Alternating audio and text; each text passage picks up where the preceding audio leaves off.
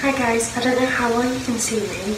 because I've got a window right behind me. But while I'm in the villa and I've got a massive mirror and like a nice area around me, I thought I'd do my skincare routine for while I am away. If you didn't know, I am in Florida, Orlando, visiting Disney World and we're staying in a villa for the last five days. I have filmed a few clips as I'm going to try to vlog, so they might be up before this or this might be up before them, depending on how I edit them.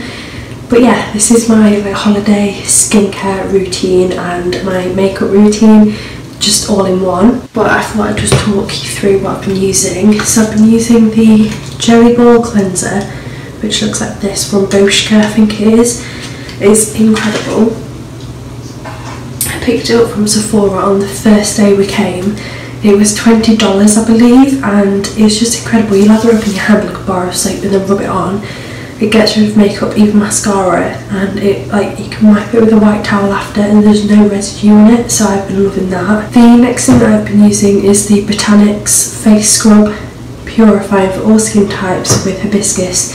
So this is to like brighten skin, and I thought this would be amazing on holiday because you want to look bright and fresh and glowy. And it's just great to keep your face scrubbed, especially when you're walking around the Disney parks. It gets so sweaty, you want to get all that off at the end of the day. So I've been using this and it just looks like that.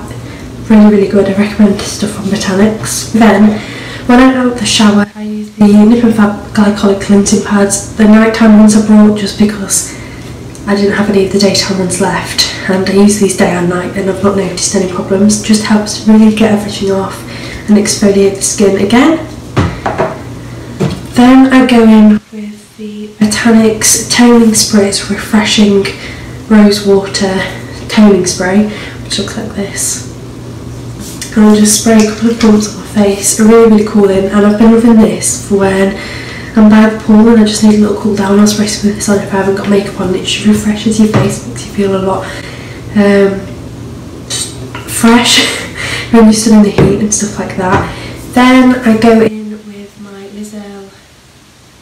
Skin Repair Light Moisturiser for combination to oily skin. This is great. You've got to keep moisturised, but when it's hot, you don't want anything that can add oil, especially if you've got oily skin. So I've been using this, and it comes in a small package, and it does way much, so great for travelling.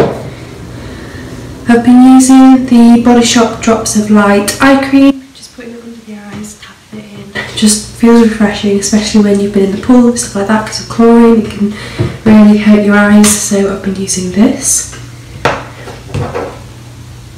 Then I've been using this sun cream from Roche-Posay. It's 50, fact 50, just because of how hot it is here and I don't want to damage my face.